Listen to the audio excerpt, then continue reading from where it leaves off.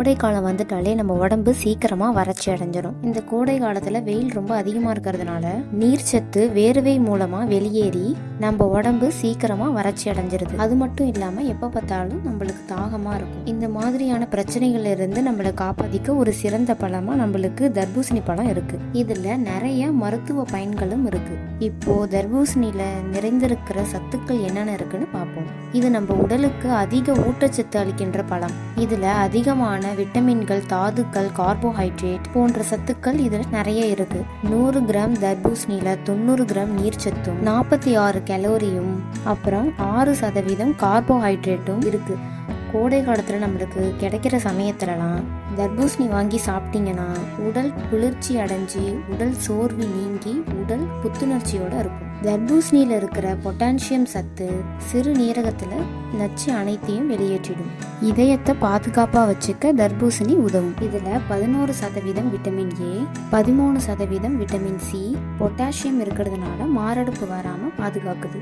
நம்ம உடலில் முக்கிய உறுப்பான இதயத்தை ஆரோக்கியமாக வச்சுக்குது.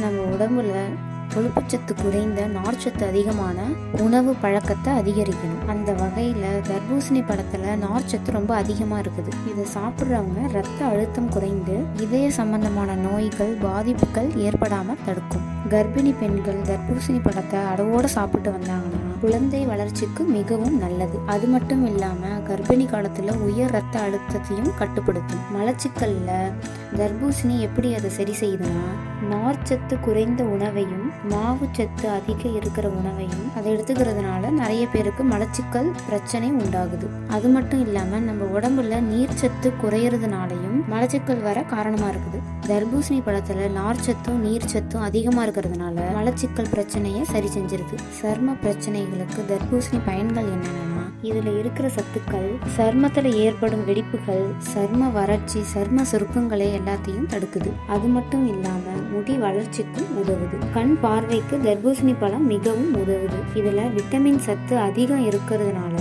கண்களில் இருக்கிற செருகளின் வளர்ச்சி தர்பூசணி பழத்தில் இருக்கிற சத்துக்கள் ஊக்குவிக்குது. இதனால கண் பார்வை பிரச்சனை தீர்க்க உதவுது. உடல் எடையை குறைய தர்பூசணி பழத்தை காலையில சாப்பிட்டு வந்தால் உடல் எடையை குறையும். சாப்பிடுற உணவுல இருக்கிற கொழுப்பை உடம்புல சேராம தடுக்குது. இதனால உடம்புல இருக்கிற கொழுப்பு குறைச்சு உடல் எடையை குறைய செய்யுது. என்னதான் தர்பூசணி கோடை காலத்துல வர பிரசாதமா இருந்தாலும் அளவோட தான் சாப்பிடணும். தர்பூசணியில தொண்ணூத்தி ரெண்டு சதவீதம் நீரின் பங்கு இருக்கிறதுனால அஜீரண வயிற்று வசப்பு வர வாய்ப்பு இருக்கு அப்புறம் தர்பூசணியில சர்க்கரை அளவு அதிகம் இருக்கிறதுனால சளி பிரச்சனை இருக்கிறவங்க தர்பூசணி பழத்தை சாப்பிட வேண்டாம். சிறுநீர் பிரச்சனைகள் இருக்கிறவங்க அளவுக்கு அதிகமா சாப்பிட வேண்டாம். ஏன்னா இதுல இருக்கிற நீரின் அளவு சிறுநீரக பிரச்சனை அதிகரிக்க வாய்ப்பு இருக்கு அதனால அளவோட சாப்பிடுங்க. சர்க்கரை நோயாளிகள் கர்ப்பிணி பெண்கள் சாப்பிடுறது நல்லதுதான். ஆனால் அளவுக்கு அதிகமாக எடுத்துக்கிட்டால் சர்க்கரை அளவு அதிகரிக்க வாய்ப்பு இருக்கு. அதனால